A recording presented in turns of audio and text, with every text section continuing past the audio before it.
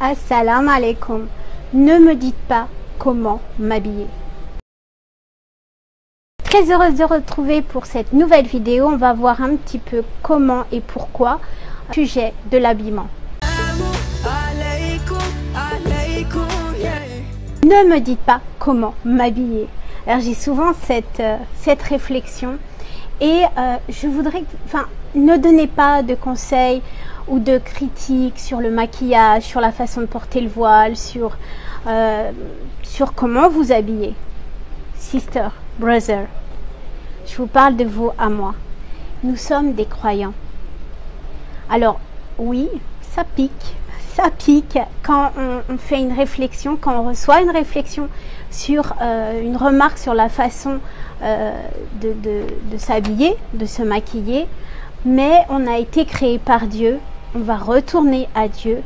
Et du coup, si les préceptes de l'islam nous demandent de nous habiller d'une certaine façon, ou de ne pas se maquiller à outrance, ou même de ne pas se maquiller du tout, c'est que derrière ça, il y a forcément une raison. Pourquoi nous a demandé, pourquoi Dieu nous a demandé de nous habiller d'une certaine façon, d'une certaine forme, c'est justement, et comme tout ce qui se passe en, euh, islam, c'est justement parce qu'il y a des bénéfices derrière ça. Même si vous ne les voyez pas de suite, mais c'est qu'il y a des bénéfices derrière ça. Et en fait, cette façon humble, cette façon de, en islam de s'habiller est une façon de reconnaître euh, la, valeur noble de la femme, la valeur euh, religieuse, la valeur, la valeur toute courte de, la femme. Et, euh, et, pour se reconnaître aussi entre, entre musulmanes. Donc c'est cette façon, cette pudeur, voilà, je cherchais le mot, cette pudeur de s'habiller, c'est vraiment aussi pour avoir pour se remettre de vraiment sentir la connexion avec Dieu.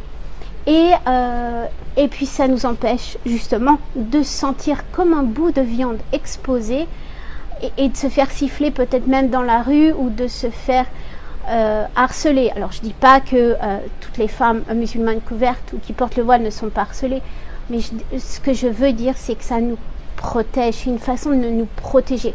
Pourquoi il y a eu cette euh, ce précepte parce que justement c'est pour protéger ce que la femme a de plus beau et c'est également valable pour les hommes.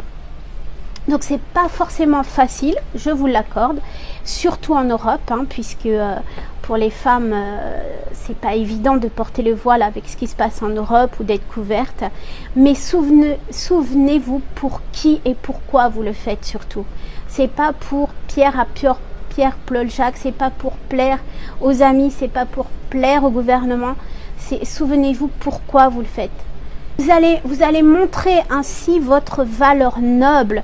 Vous allez montrer votre noblesse d'âme. Vous allez montrer votre foi. Et, et la pudeur n'a absolument pas de prix dans ces cas-là.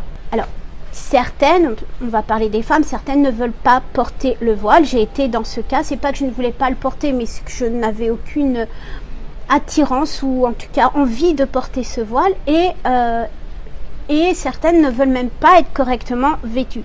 Correctement vêtues, c'est-à-dire qu'on ne voit ni les seins, ni les fesses, ni quoi que ce soit. En mini-jupe, avec des grands décolletés, etc. Faites comme vous voulez, j'ai envie de dire. Faites comme vous voulez, vous êtes libre, vous êtes complètement libre.